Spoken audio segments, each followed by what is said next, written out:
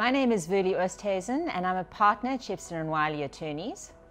Hi, my name is Kate Oosthuizen and I'm also a partner at Shepstone and Wylie. Now, special personal information is information about about a person that they may not necessarily want other people to know, that is particularly sensitive. For example, uh, trade union membership or political persuasion. All of those kinds of pieces of information um, are important. And actually, sometimes it, it may seem that you would never have to gather that information, but it is actually important in some instances. For example, marital status many employers will have to gather that information simply because they might have a pension fund um, or because they need to have the next of kin contact details if there's an accident at the workplace. So we have to be able to set out exactly why we need that personal, that special personal information, but people can't just refuse uh, on the basis that they, they just don't want to give that information. I think it's important to note too that there is a general prohibition in the Act on processing special personal information unless there's either a general authorization for it, alternatively specific authorization in terms of the Act. So an example of specific authorization would be, for example, for healthcare workers who obviously require your health, uh, your health information, your health data, in order to treat you properly. Um, the general authorizations for the processing of special personal information include having the consent of the data subject. Um, can you think of some others? Um, it might be that in terms of a legitimate interest or um, in terms of a particular act that you're required to get that information. And I think a really great example of that at the moment would be when you enter into a building and you have to give your information for COVID. So all of us walk into a building, we have our temperature, temperature taken, we give over our cell phone number, and um, this is health information, so it's special personal information, but we are not actually allowed to enter into the building unless we give that information, unless we have our temperature taken and it's given over. And that is because in terms of the um, state of disaster regulations, you have to provide that information. And if you don't provide that information, you simply aren't allowed into the building. So we've spoken about personal information, we've spoken about special personal information, and there's another category which is the personal information of children. Now, this isn't considered special personal special personal information in terms of the Act, but it is given special attention by POPI.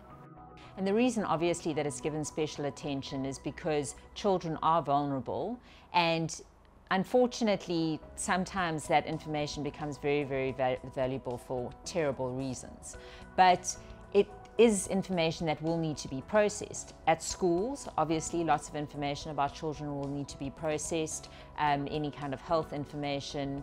Uh, it is for the protection of the privacy of children and the information regulator, I would, I would guess, um, will take this kind of information or any kind of leakage of this information very seriously. And I think that the information regulator will shortly be bringing out guidelines relating to the processing of information of children, but we may have a ways to wait for that. There is something that we need uh, to flag for our clients, which is very, very important, and that would be the trans-border, um, well, uh, cross-border transfer of information. And that is important when it relates specifically to special personal information and information relating to children. And it may, you may not think that you transfer a huge amount of data overseas, but often you are. Um, you know, people send emails all the time to um, people overseas to different companies. I know, for example, Kate works um, within the family law department.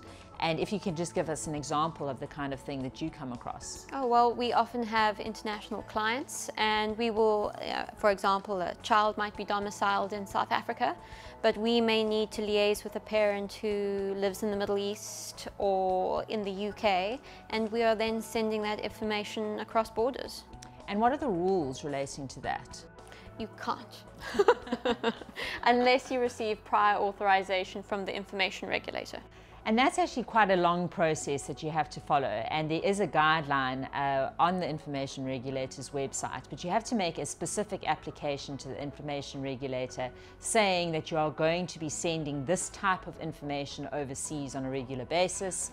Um, and because of that, you need to be exempt from certain provisions in terms of the Act. I think that if you are sending information to the European Union, then you know that the information is going to be processed and protected in the correct manner because, because they've been doing this for such a long time. However, if you are uh, sending it to a country that doesn't have those data protection laws in place, then you have to be quite careful. Yeah. And you will need the prior authorization of the information regulator to send special personal information abroad as well as the personal information of children. Now, if you go to the Information Regulator's website, there's a whole guideline about applying for this prior authorization. And we think that it would be a good idea to contact us so that we can assist you with that uh, prior authorization because it is a process and you do need to understand what information you are going to be sending overseas. Luckily, you only have to make one application. You don't have to make an application every time you send uh, information overseas, but you've got to get that prior authorization from the information regulator, and it takes a number of weeks for them to consider your application. Look out for further content and for further podcasts in the future as the compliance project nationwide uh, starts to roll out.